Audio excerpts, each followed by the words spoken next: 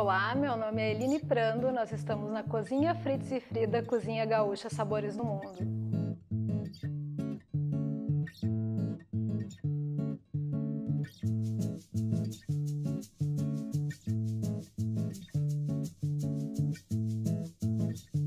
Hoje nós vamos preparar um prato da culinária portuguesa, que é o pão de caco, tradicional da região da Madeira e também conhecido como bolo do caco. Ele é feito com batata doce e o mais interessante é que ele é preparado na frigideira, então esse pão não vai ao forno. Vamos começar o preparo do nosso pão, começando pela batata doce, que é um a gente fez, amassou essa batata. Ela pode ser cozida no forno ou no vapor para que ela fique o mais seca possível.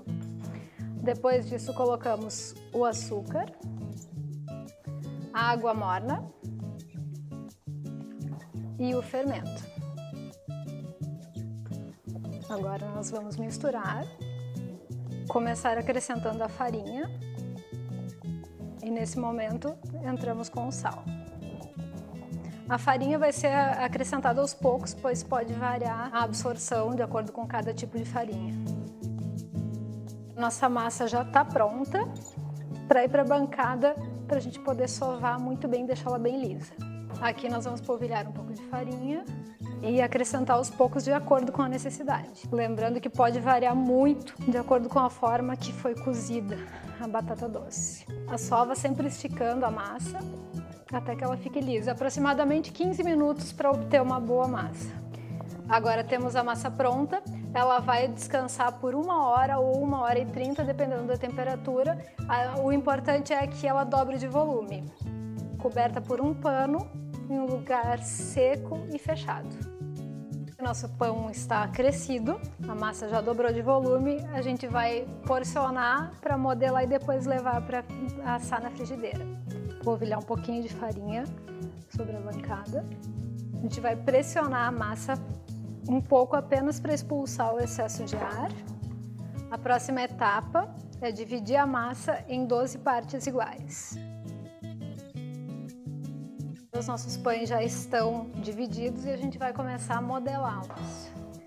Coloca uma boa quantidade de farinha na forma e a gente vai fazer usando farinha também na mão e nos pães. Vai modelar para formar discos achatados. Nós modelamos todos os pães, colocamos eles nessa forma com farinha e deixamos descansando por 10 minutos cobertos em lugar fechado. Agora eles estão prontos para serem assados delicadamente. Nós vamos pegar o pão, largar numa frigideira quente. É importante ter cuidado para que a massa se mantenha sem ficar amassada. A gente fecha a frigideira e mantém em fogo baixo para fazer o preparo por aproximadamente 5 minutos de cada lado. Esse tempo pode variar de acordo com o tipo de frigideira. Vamos ver se o pão já está dourado perfeito. Então é só virar e deixar o outro lado dourar também. Fechando. É muito importante que usar a tampa para que a gente consiga ter vapor dentro da panela e manter o pão úmido. E não precisa usar nada de gordura, ele é, é, o pão pode ser feito sem nenhum tá frigideira, perfeito. E se tiver uma frigideira com fundo grosso, o resultado vai ser melhor ainda. Nossos pães estão prontos, dourados dos dois lados. A gente vai colocar numa gradinha para deixar esfriando. E continua o processo até finalizar os 12 pães.